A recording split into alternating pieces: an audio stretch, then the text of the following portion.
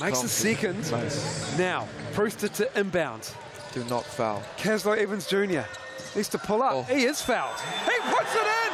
It counts. Unreal. On the run. He didn't call a foul. And he got fouled. Surely. You can't review it. He knocks it down. We're going to overtime. Just need to get it over. Shot clock is off. They do just Like get that. it They over. it to the point guard's hands. Got a wing on ball here, Miles. Going under at the defense. Oh, he caught Evans him. Jr. on the reverse. Oh! It drops. Oh! Kazlo Evans Jr.